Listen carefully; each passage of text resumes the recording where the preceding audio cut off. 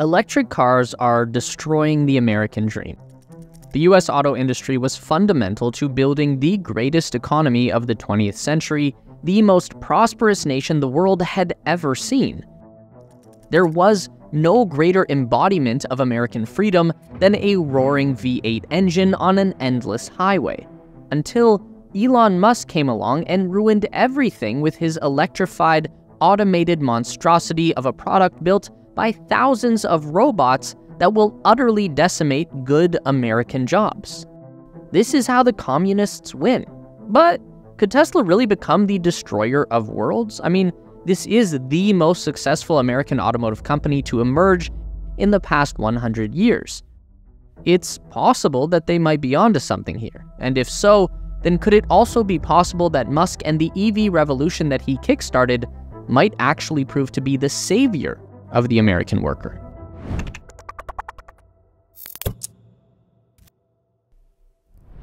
So, before we can really understand whether EVs are going to save or destroy America, we need to figure out how it got broken in the first place. And you might have your own version of events for the collapse of American industry. That's fine. I personally never put too much thought into it because I'm Canadian and we've got our own problems up here, but I've spent a few days going over the numbers and the history and I think I've got a pretty good idea of what went down. The real story here is that US manufacturing was dealt its fatal blow long before Elon Musk. The peak of the American auto industry came all the way back in 1979 when nearly 20 million people were employed by the manufacturing industry. Today, that number has dwindled to around 13 million. Over that same period of time, the US population has grown by around 50%, so we're looking at a pretty significant decline in jobs per capita. So, whose fault was that? Can we blame the government? It must have been the Democrats, right? Wrong. Ronald Reagan took office in January 1981, and by the end of that year, the domestic manufacturing sector would experience a significant downturn from which it would never fully recover.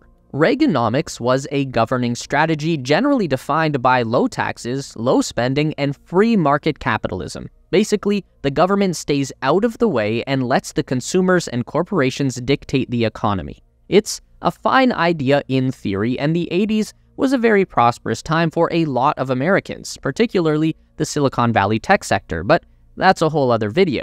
On the larger scale, the free market didn't come out to support Made in America, which is going to remain our focus for today. But you can't fully blame Reagan here, not even close, really, because his number one priority was to fix the catastrophic inflation rate that he had inherited from Jimmy Carter. Now, as much as I love throwing people under the bus, we still can't really blame the Democrats either because the great inflation of the 1970s was a two pronged spear, with prong number one arising in the Richard Nixon slash Gerald Ford calamity in the first half of the decade. It cooled down for a couple of years, but came roaring back in 79 and 80. Reaganomics succeeded at crushing the inflation rate, resetting all of the damage that had been done over the previous decade, yet this did nothing to boost the domestic manufacturing industry, and the best I can tell, it's because in their quest for lower prices, the free market developed a taste for offshoring. So the price of American goods never actually went down with the rate of inflation, but the utilization of cheap foreign labor and foreign made products marked a drastic shift in the consumer landscape. I know we've spoken about the Foreo Bear before, which combines microcurrent technology with T-sonic pulsations to tighten and firm your skin, giving you a more youthful, contoured complexion. But today, I've got some powerful visuals to truly showcase its effectiveness. Look at these before and after images. The transformation is undeniable, right? So, what's the secret behind this magic? Let's dive into the benefits enhanced skin firmness and elasticity, say goodbye to saggy skin and hello to youthful vibrancy, reduction in appearance of fine lines and wrinkles. This device naturally rejuvenates the skin, making those lines less noticeable. Improved blood circulation, get ready for that radiant and healthy glow we love. Targeted facial muscle stimulation, it's a unique skincare approach that makes a difference user-friendly and customizable settings. Whether she's a skincare pro or just beginning her journey, the Foreo Bear is designed for intuitive use. My fiance used to treat herself to a facial at a salon once in a blue moon because they cost hundreds for a single facial treatment, But with Bear, you bring the professional treatment home, saving both time and money. A gift like this speaks volumes. It says you care about her well being, confidence, and happiness. Plus, every time she uses it and sees the results, she'll be reminded of your thoughtful choice. And the best part is, right now, you can get 21% off Bear by clicking the link in the description. If you want to stand out with your gift giving game this year, make the Foreo Bear your go to choice. I'm looking forward to your feedback. Cheers. So, now we get to our real culprit here. It's all Japan's fault. The Japanese post war recovery came slowly, but when they finally hit their stride, Japan's economy took off like a rocket and their consumer electronics quickly flooded the US market. Every home in America was now equipped with futuristic technology from Panasonic, Toshiba, and Sony. The exact same story played out in the automotive industry. As much as we love to put the American muscle car on a pedestal, the majority of American made cars kinda sucked. They were unsafe at any speed, and the overall quality was dodgy at best. Now, again, your version of events may vary, but let's refer to a little film. This is an experiment that the IIHS conducted a few years back. They wanted to show the progression of automotive safety by taking a 1958 Chevy Bel Air and smashing it head on into a 2009 Chevy Malibu. Now, your first instinct might be that the giant boat of Detroit steel is going to obliterate the flimsy modern plastic mobile. They don't make them like they used to, right? Roll the clip. And yeah, the driver of the 21st century Malibu probably would have walked away from that one, while the occupants of the classic car were reduced to a bloody pulp. They don't make them like they used to, and thank God for that. So, when Toyota arrived on the scene with their Japanese contemporaries like Nissan and Honda, they offered the American consumer a higher quality product at a competitive retail price. And as an added bonus, you get a highly efficient and compact Japanese engine that won't bankrupt your family on gasoline cost, an improved standard for passenger safety, and the cars would even go around corners without tipping over and exploding. By the time the 90s came around, foreign cars were here to stay, and the reality is that the American brands have been desperately and unsuccessfully trying to play catch up the entire time. We all know someone who's still happily driving a 30 year old Toyota, but when was the last time you saw a 90s era Ford or Chevrolet on the road? And then, of course, there was the catastrophic implosion and bankruptcy of 2008, which reduced the American auto industry to a group of beggars at the feet of President George W. Bush, who obediently wrote them a $17 billion check to avert total collapse of the industry. Hence, the phrase too big to fail was officially coined. This bailout was an unfathomable amount of money for the time, but even so, the best it accomplished was to stop the bleeding. Going back to our chart here, we can see that the amount of growth in US manufacturing following that bottom in 2009 has been pretty much negligible. There have been dips and recoveries in the past, but never before has there been such a sharp decline followed by such a slow return. And you can put that on Barack Obama, sure. The man was no Dennis Rodman, he could not stick a rebound, but just look at the devastation in the first decade of the 21st century. That's 6 million jobs evaporating from the economy. Good, middle class jobs that actually supported a family and allowed people to get ahead. They are gone. And this is where Elon Musk and his electric cars join the party, mid dumpster fire, and they're about to change the industry forever. So, is Elon Musk some kind of a techno Jesus? No. Did he figure out how to capitalize on the right technology at the right time? Absolutely. Tesla entered the US auto industry into a total void of innovation or creative thought.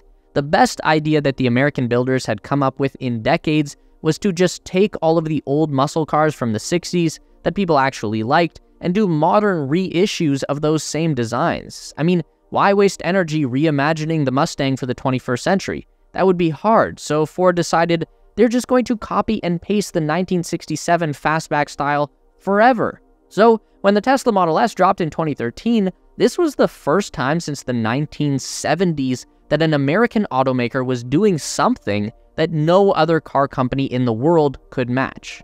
Sure, we did have electric cars and hybrid cars back then, but the Nissan Leaf and the Toyota Prius were never really taken seriously. They were literally a joke. South Park made a whole episode roasting Prius drivers in 2006. But Tesla was exciting. A big, powerful American made car just like back in the day, but these things were loaded with the most state of the art technology. It was like driving a spaceship. It looked like nothing else on the road, and on top of all that, Tesla was making the safest car on the road. The important thing to note here is that Tesla arrived at a time when US automaking had been in steep decline for decades. Factory closures had been happening all across the country. Detroit was reduced to an apocalyptic wasteland. And here comes Elon Musk, buying up one of those closed factories and restarting operations, putting people back to work, and making the most advanced automobile in the world right down there in the good old USA. Here's the problem though. Sure, the car is made in America, but those batteries, the most expensive part of the whole thing, they're made in Asia. You're still offshoring the majority of the cost. Now we enter the Gigafactory, and this is where things really start to change. Once Tesla had locked down the vehicle manufacturing side of things, attention turned to the battery problem. The company liked Panasonic battery cells, but they didn't like importing them across the Pacific Ocean. So where competitors in their industry had made outsourcing and offshoring a part of their business strategy, Tesla was striving to do the opposite. They wanted as much vertical integration as possible. That means fewer suppliers and more in house onshore manufacturing. This is where Gigafactory Nevada was born. Tesla wanted to bring their battery manufacturing stateside. Panasonic wasn't making the batteries that Tesla needed in America, so Tesla built a whole new factory outside Reno for Panasonic to use. So, within a period of about five years, Tesla has restarted a dead automotive factory and constructed a brand new, state of the art battery manufacturing plant. Meanwhile, their American competition basically just continued to stagnate while pretending that electric cars were only a rich liberal fad and Tesla was destined for bankruptcy before the end of the decade.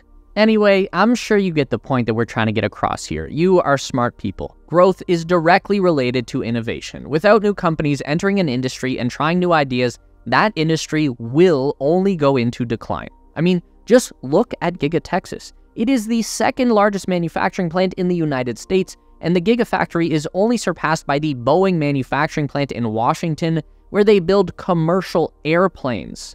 So instead of thinking about Tesla as the destroyer of the traditional auto industry, it's much more healthy to look at them as a much needed catalyst for change and rejuvenation.